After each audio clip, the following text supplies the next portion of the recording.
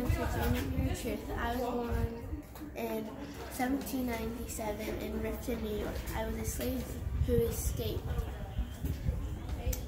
And I was forced to get married to another slave. I, I, got, I had five children. People remember me because of my speech anti. I made my speech because the, the white men were only helping the white woman. After that, one of the most things I hated in my life was my old master sold, sold my little boy. So what I did is I sued him and I got him back. And I was the first black woman who sell, sell, who sued a white man. After I got my son back, that is some of my life. But make sure to stick up for yourself and have faith in